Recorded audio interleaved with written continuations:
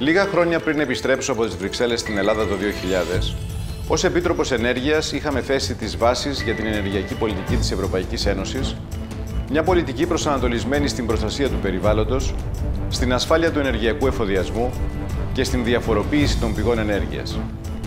Στις πολιτικές και νομοθετικές πρωτοβουλίες της Ευρωπαϊκής Επιτροπής είχαμε συμπεριλάβει την δυναμική προώθηση των ανανεώσιμων πηγών ενέργειας, την εξοικονόμηση ενέργειας, την συμπαραγωγή θερμότητας και ηλεκτρισμού, τον ορθολογικό προγραμματισμό επενδύσεων στον ενεργειακό τομέα και στην μείωση των εκπομπών ρήπων από τα αυτοκίνητα.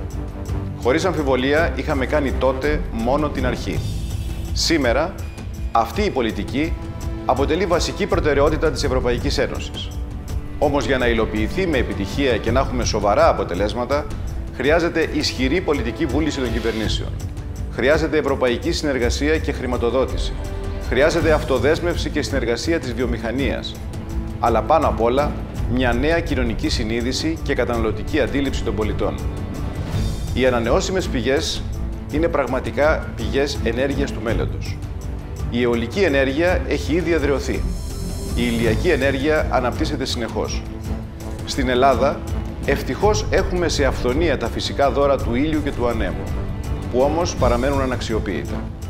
Και είναι για να προβληματίζεσαι όταν σε χώρες με περιορισμένη ηλιοφάνεια, όπως η Ολλανδία και η Δανία, βλέπεις μεγάλη αξιοποίηση των συστημάτων φωτοβολταϊκών στοιχείων. Όπως προβληματίζεσαι όταν βλέπεις την μεγάλη αξιοποίηση των ανεμογεννητριών σε πολλές περιοχές της Γερμανίας με πολύ λιγότερο άνεμο από τα ελληνικά νησιά.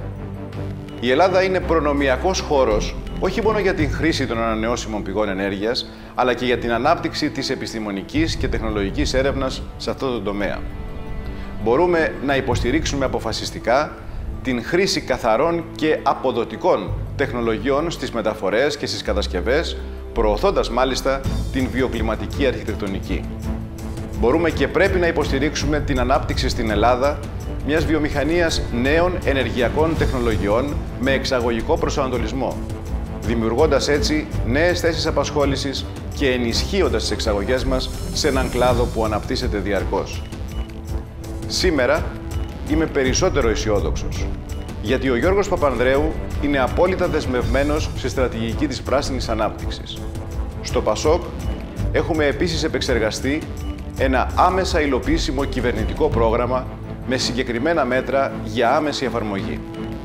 Η νέα κυβέρνηση του ΠΑΣΟΚ, μετά την 4η Οκτωβρίου, θα εργαστεί με αποφασιστικό τρόπο ακριβώς σε αυτή την κατεύθυνση.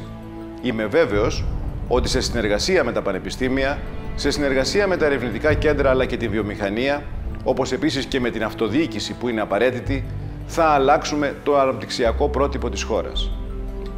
Έχουμε την ευθύνη και την υποχρέωση να πετύχουμε με την δύναμη της γνώσης μας και το πάθος μας για την αλλαγή.